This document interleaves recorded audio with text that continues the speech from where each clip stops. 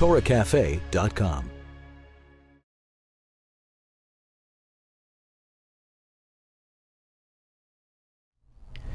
One of the topics that many people have been curious about lately is the topic of Thanksgiving, especially since this year Thanksgiving and Hanukkah fall out in the same, uh, they overlap. So I'd like to discuss today a little bit about Thanksgiving, its history. Uh, where did Thanksgiving originate? Is it something that Jews could or should observe? And are there any lessons that we can take out of it? Now, the history of Thanksgiving really begins before the, who would later be called the Pilgrims, came to America. In 1608, there was a disgruntled congregation of English Protestants who moved to a town in Holland where they thought that they could worship the way that they saw fit. They were called separatists, which is a, type of Protestant, and they were called separatists because they didn't want to pledge an allegiance to the Church of England, which they believed was corrupt. In Holland, they found religious freedom, but there were some economic difficulties and also a lot of secular influence, so they were not happy there. They decided that they're going to move again, this time to a place without government interference or any worldly distractions. They were going to go across the Atlantic Ocean to the New World. Now, originally, they were supposed to go to the New World on two merchant ships. One was called the Speedwell, and the other was called the Mayflower.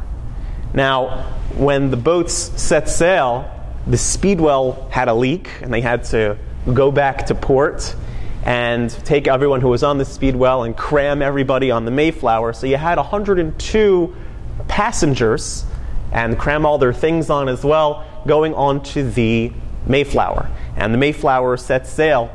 But because of the delay that was caused by the leaky speedwell, what that ended up happening, they ended up setting sail at a very, very bad time.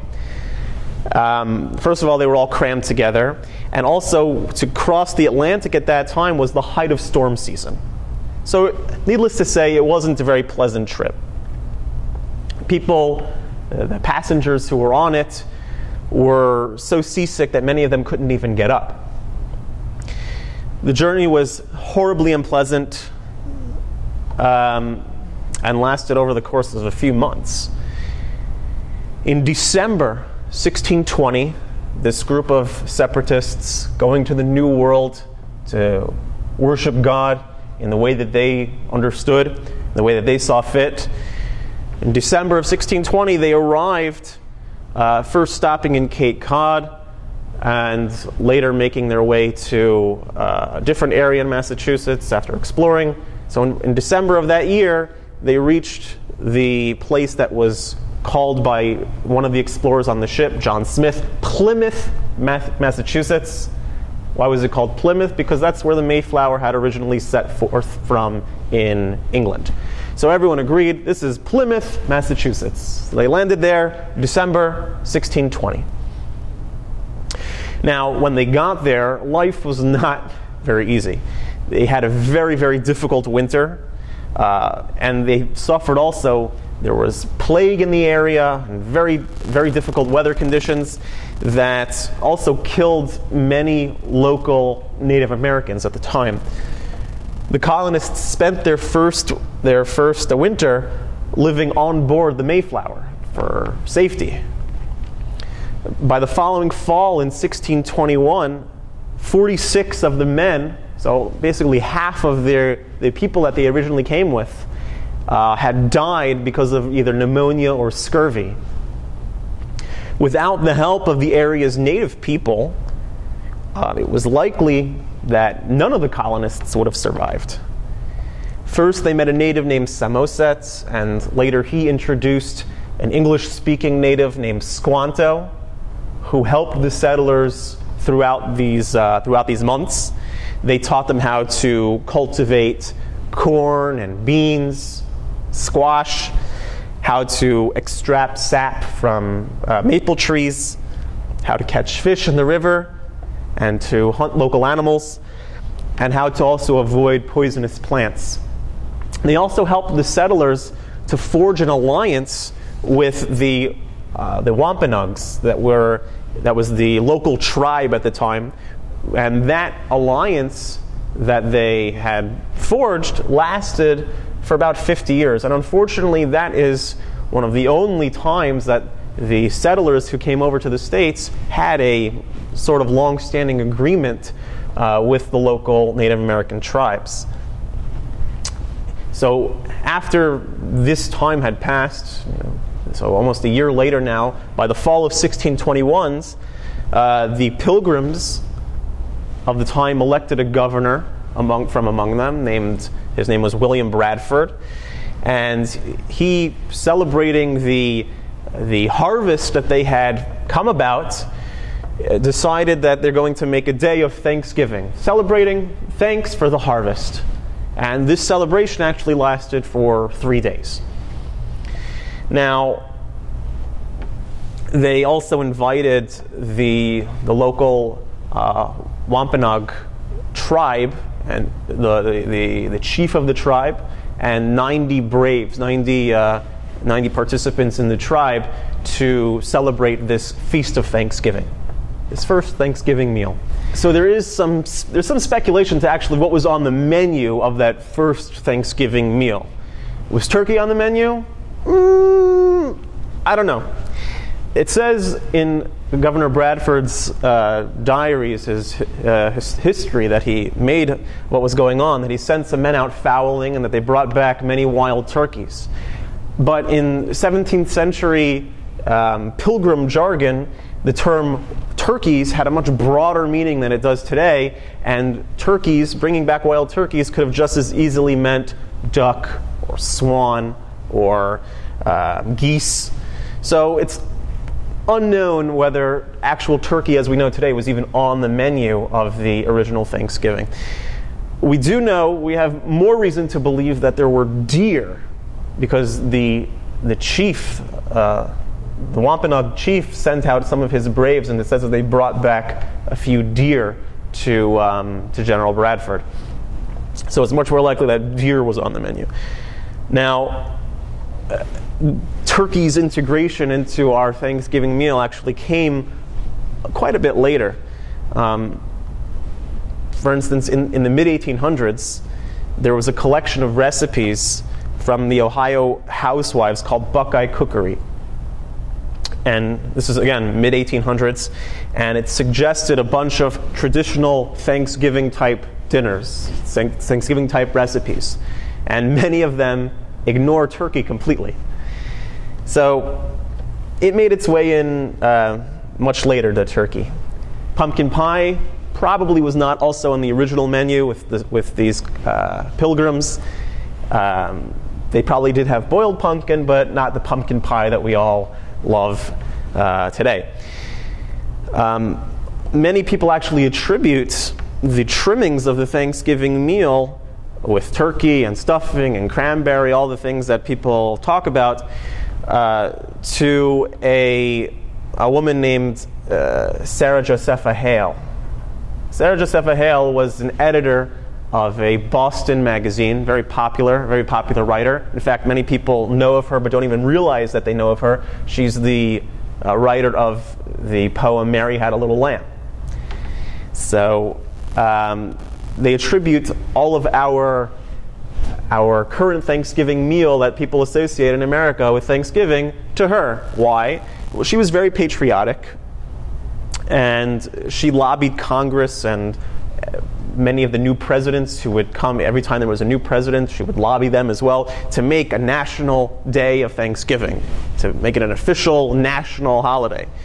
And at the same time, she wrote novels that romanticized turkey meals in an over the top, drooling type of way, these lavish meals. And eventually, she was, she was the cause of, uh, that motivated Abraham Lincoln to eventually make Thanksgiving a national holiday. And it seems that the, the two, the Thanksgiving holiday and the, all the trimmings that come with it of the meal, kind of came together largely because of her. So, how did it how did it become a national holiday? How did it move from colonial times to American national holiday that we know today? Um, after the Pilgrims had that original meal, they had one two years later, uh, marking the end of a long drought. And then there would be days of Thanksgiving from then on, on occasion. It wasn't a, a yearly set thing that everyone in the nation, uh, that all the colonies would, would celebrate. It was done on occasion for various different uh, things to celebrate in all of the New England settlements, and the idea spread as well, but nothing concrete that everyone was doing. In, in 1777, um, after our founding, the first, that was the first time that all 13 colonies in the United States all celebrated one day of Thanksgiving. They joined together to celebrate the victory over the British at the Battle of Saratoga. It was the first time that all the colonies together were celebrating one day of thanks. But again, it was a one time affair, and from time to time, uh, people, different states, uh, uh, would would um, would have their own celebrations, but nothing nothing on a national scale. In 1789, George Washington issued the first Thanksgiving proclamation by the national government of the United States. In it, he called upon all Americans to express gratitude for the happy conclusion of our War of Independence and for the successful ratification of the United States Constitution. Just to quote a little bit from the proclamation, he says, I do recommend and assign Thursday, the 26th day of November next, to be devoted by the people of these states to the service of that great and glorious being who is the beneficent author of all the good that was, that is, and that will be, that we may then all unite in rendering unto him our sincere and humble thanks for his kind care and protection of the people of this country. So, it wasn't meant to be a religious holiday per se, but there's certainly certain religious undertones. Certainly, God is mentioned. Is not mentioned in, as a specific religion's God, but the God figure and God's uh, overseeing of this nation. Later presidents, John Adams and James Madison, also um, assigned days of thanks during their presidencies. There was, again, nothing clear year by year designated to all the states quite yet. In 1817, New York actually became the first of several states to adopt a, an official Thanksgiving annual holiday. Every year, certain day. And then um, each, each state would subsequently um, also assign, you know, each state also subsequently assigned different days to have his Thanksgiving. They would each do it on a different day and in a different way.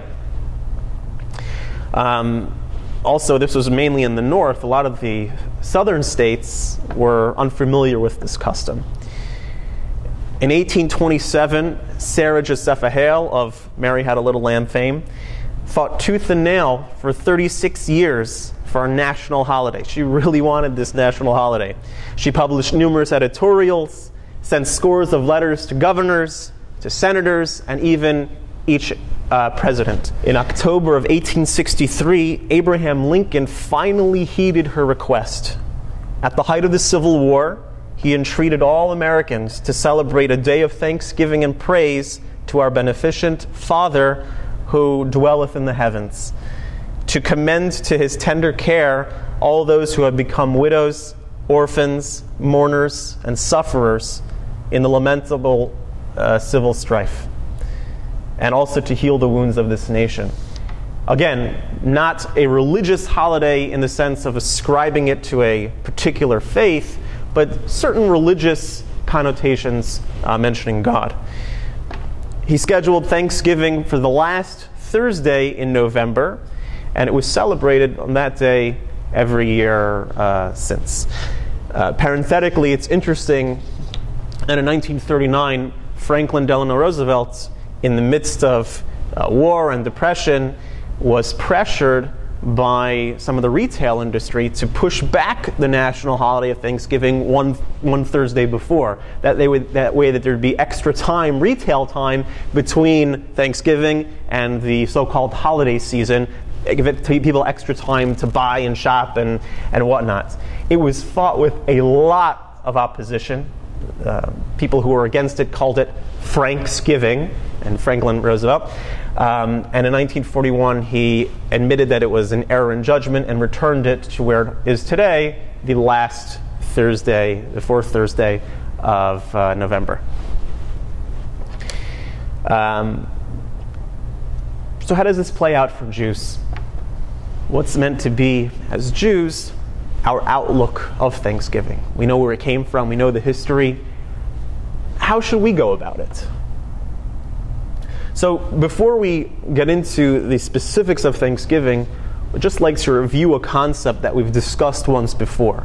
And that is the laws that we have in Jewish law, codified in Jewish law, about against um, hukat akum, which are the statutes, the customs of our neighbors, of our Gentile neighbors.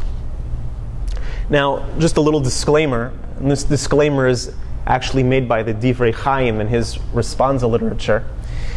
And he says that the intent of these laws is not to cause leniency in respect shown to our neighbors, as it's clear by the fact that many sages had very close relationship with non-Jews and noblemen.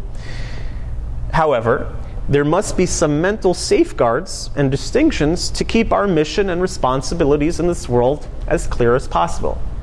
So, what these laws are meant to do are not to make us disrespect our neighbors or the nation that we live in, but just to, in order to preserve who we are.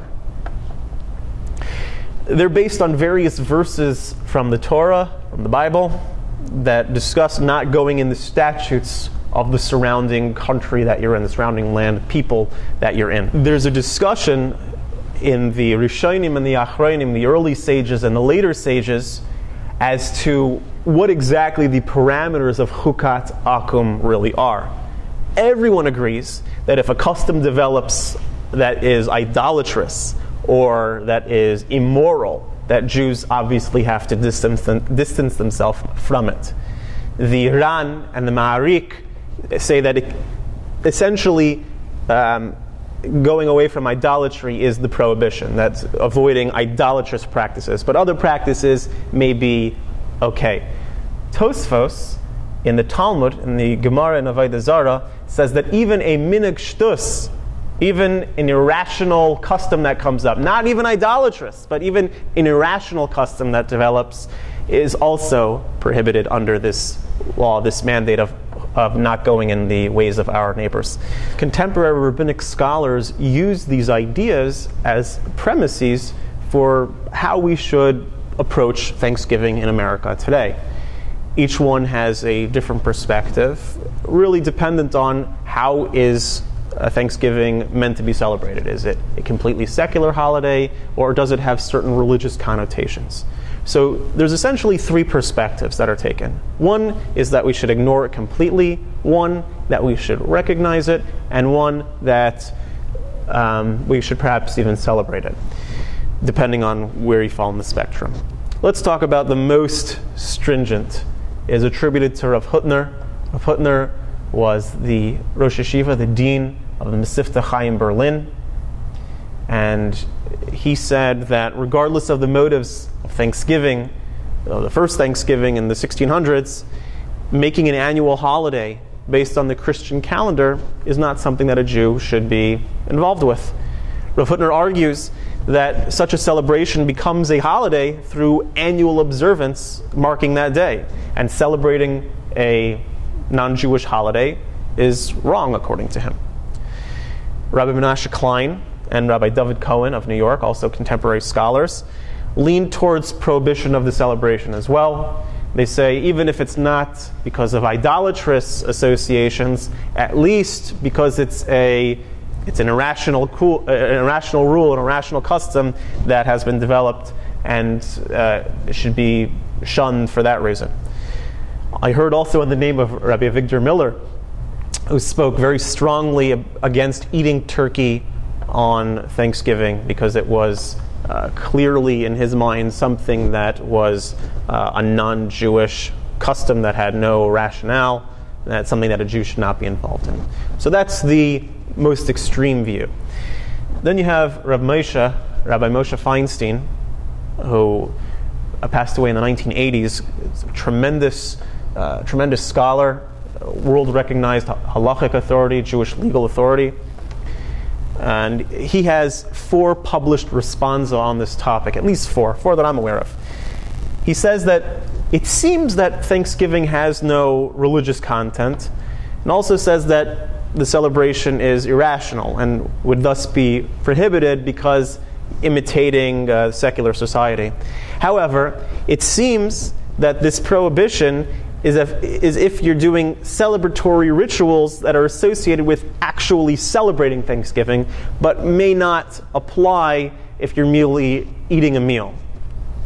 So, in his, in, in his perspective, a generic Thanksgiving, a generic uh, celebration on Thanksgiving would be okay, even though he also uh, stresses that a Baal Nefesh, someone who's meticulous in their Torah observance, should be strict and not do it but uh, to actually make a celebration in honor of Thanksgiving would be prohibited. So, generic celebration, generic get together, eating food, not prohibited, but to make an actual Thanksgiving celebration, he says, is more of an issue. If nothing else, because of uh, it being an irrational law, an irrational statute. Uh, he said eating turkey, uh, but, but, however, eating just eating turkey on Thanksgiving uh, may not be such an issue uh, Rabbi uh, Ephraim Greenblatt also says a similar that eating turkey on Thanksgiving is not an issue.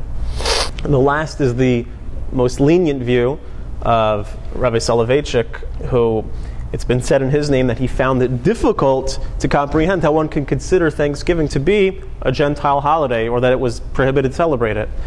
Um, it's known also that he would, in fact, on Thanksgiving Day, give give his lectures early in order to allow people to go home to eat their Thanksgiving meals with their family. And it said that he even would go home to Boston to uh, celebrate Thanksgiving uh, with, his, with his own family as well. So, those are the basic legal parameters of how a Jew should approach Thanksgiving, what a person should practically do for themselves. I would consult your local competent rabbi to discuss these issues and to see how it fits in your in your life. Now, without mentioning the the legal status per se of Thanksgiving, um, the Rebbe, the Lubavitcher Rebbe, praised America as a country that's being founded on God as the overseer, as being a country that's benevolent to the Jewish people, and he also loosely linked Thanksgiving and Hanukkah in a Farbrengen, and the Farbrengen, the gathering is uh, recorded. A person can uh, watch it uh, probably even online. So, what about Thanksgiving and Hanukkah? Everyone's making a big deal this year that they're overlapping. Does their proximity have any meaning? Do they share a common thread? And is there a particular lesson this year that we can learn from the fact that they overlap. So, in my mind, I believe there are two things that Hanukkah and Thanksgiving share. Two concepts. The first is obvious the idea of gratitude, thanksgiving. The Talmud, the Gemara, and Shabbos says that when the Hanukkah miracle occurred, it says that they were able to light the menorah from a flask of oil, and that lasted eight days. And then the next year, they established it, made it a holiday filled with thanksgiving and praise. Jews are known for their praise and thanksgiving, their obligation to give praise and thanksgiving to God. In fact, there are certain laws. There's a law in Judaism that when a person undergoes a certain difficult situation, he has to make a special blessing called the Birkat HaGomel, to thank God, to praise God for helping him get through that situation. One of the other ways in which we give thanksgiving and praise, besides that actual blessing, is in the Psalm. Psalm 107 is one of our praise and thanksgiving psalms.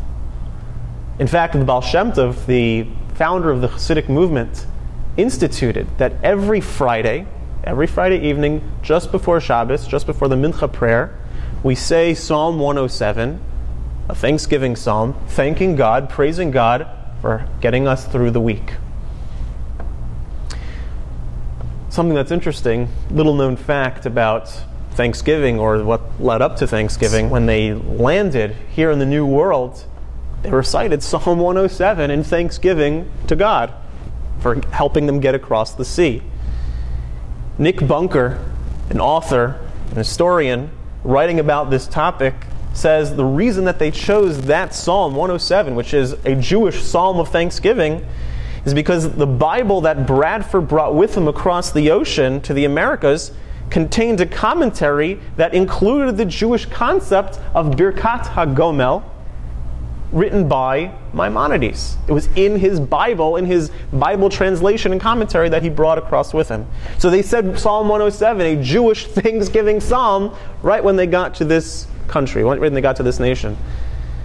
So gratitude, thanksgiving, is certainly a common denominator between Thanksgiving and Hanukkah.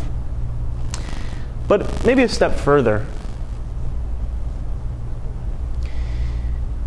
The pilgrims, they left England because of discomfort with how they were allowed to serve God there. And they went to Holland to, to seek out a better life. Why did they leave Holland? Why did they come to the New World and not just stay in Holland? One of the primary reasons was because of secular influence. They didn't like the secular influence that they had in Holland. They were free to worship as they wished over there. They had the freedom, but secular influence was still so strong that they didn't they couldn't take it. And they wanted to be off by themselves in the new world where they wouldn't be distracted or bothered by, by these secular influences. So they came across the sea to the new world and wanted themselves also to be a light and a light to the nations as well.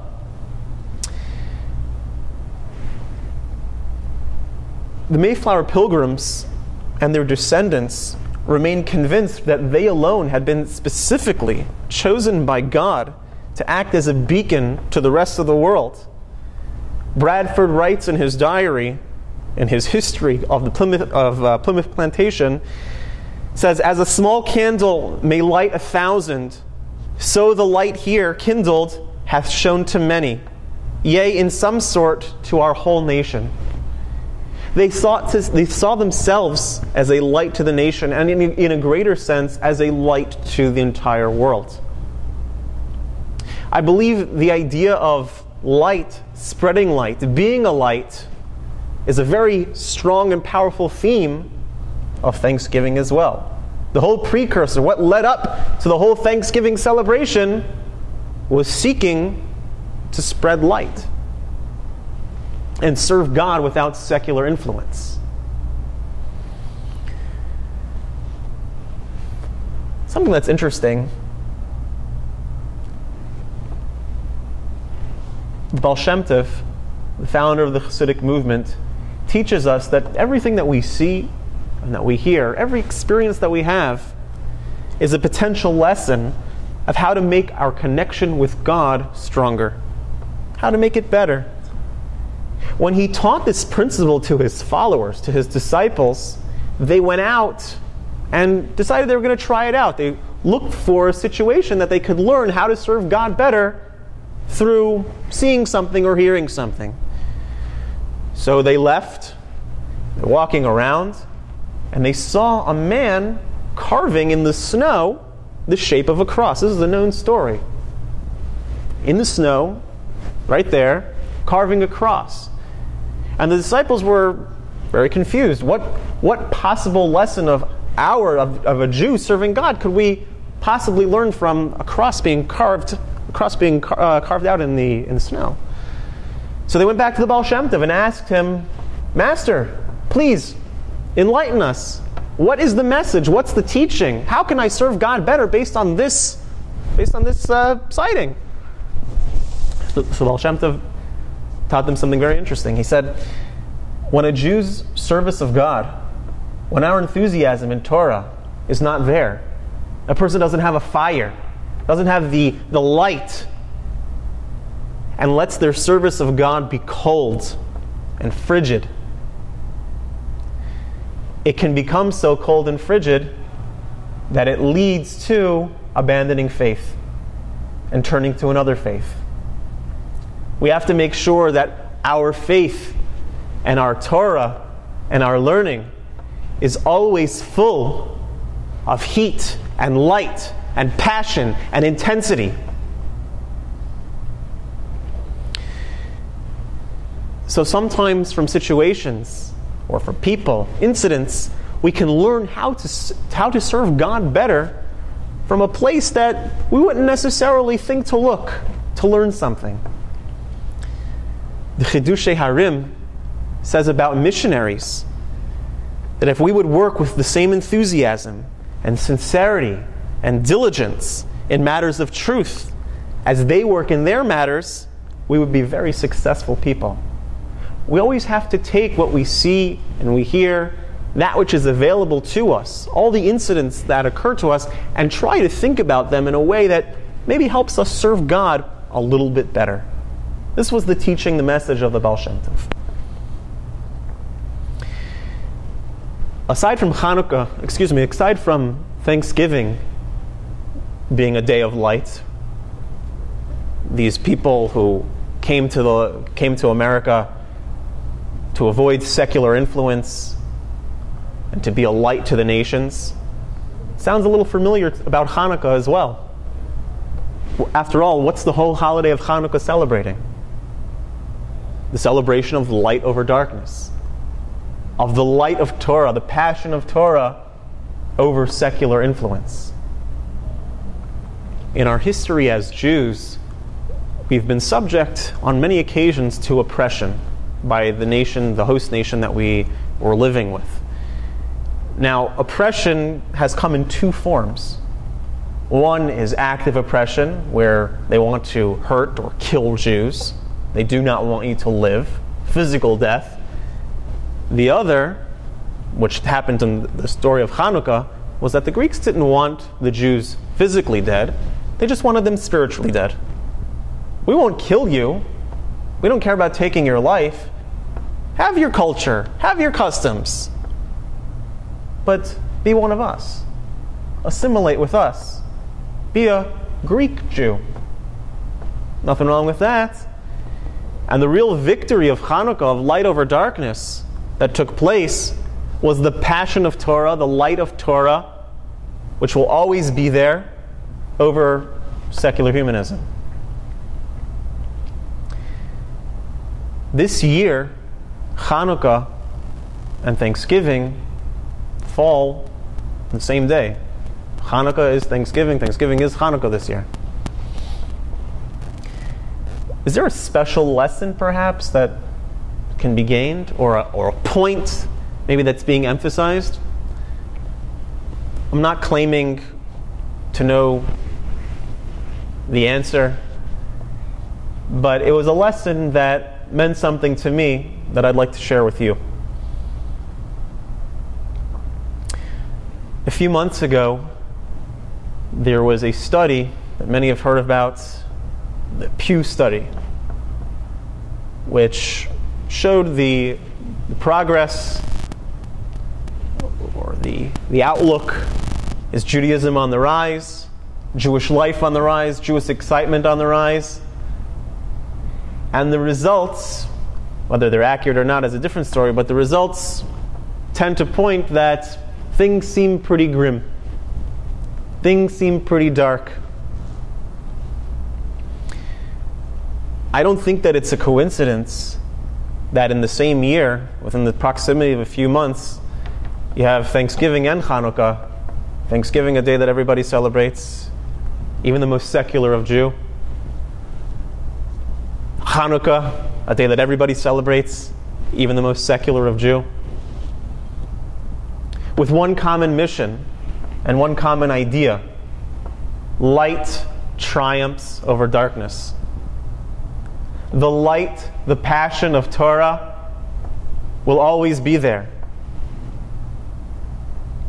It also reinfuses us to reconnect with our overall mission in this world to be a light to the nations.